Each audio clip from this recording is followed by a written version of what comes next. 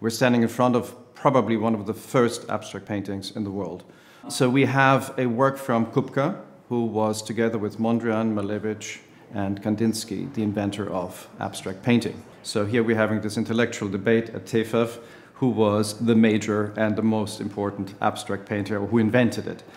It doesn't really matter that much who invented it first, it was a concerted effort, it was in the air. But this painting behind me takes the inspiration from music, it takes it from Bach's Fugue, it takes it from nature, the movement of leaves, the movement of things that are repetitive in nature. So that's why it's called the ligne animée, which is an animated line. And with that painting here behind me, you see how uh, nature, music leads towards complete abstraction.